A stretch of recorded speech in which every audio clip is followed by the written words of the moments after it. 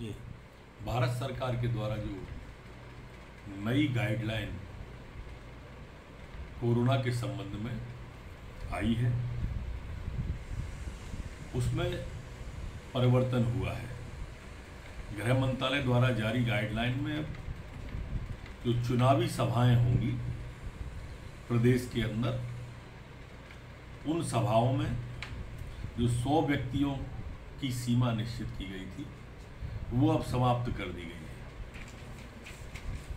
लेकिन जो आवश्यकताएँ हैं, जो प्रतिबंध हैं, वो मास्क, सोशल डिस्टेंसिंग, सैनिटाइजर का उपयोग, वो सारी की सारी पूर्ववत पूर्णतः जारी रहेंगी।